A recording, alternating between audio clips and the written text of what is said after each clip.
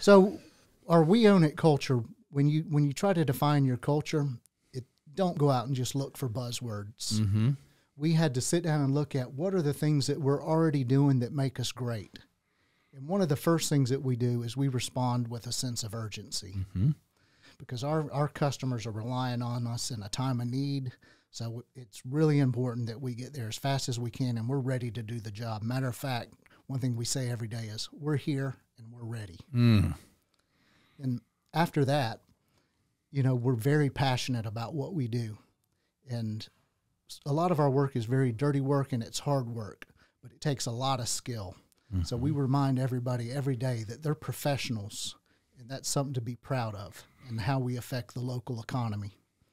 Um, you know, and with that passion, we're always striving to deliver the highest quality service out there. And how about from the customer perspective? Um, you you want to have a good relationship, right, with Right. your customers? How does that factor into it?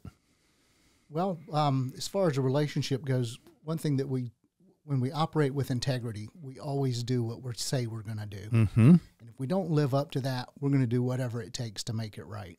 Makes sense and, and easy to do business with as well. And if you'd like to learn more about David's company and uh, maybe want to be part of an employee ownership plan, uh, go to AugustaIndustrial.com, AugustaIndustrial.com. So urgency, passion, integrity, Integrity, and we're team players. and team And players. that's, you know, inside your organization, everybody needs to be a team player. We treat each other with respect, we're approachable and helpful. But most importantly, in our line of work, we're a partner with the customer Mm-hmm. because we've sold ourselves as their lifeline to keep their business up and running in a time of need.